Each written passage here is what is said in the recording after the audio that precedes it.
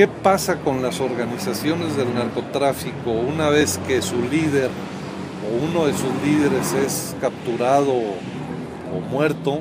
Eh, no hay una regla universal de qué opera. Hay casos en que se desatan luchas internas y entonces genera violencia. Y ha habido casos en que la detención o la muerte del líder de la organización no provoca más violencia.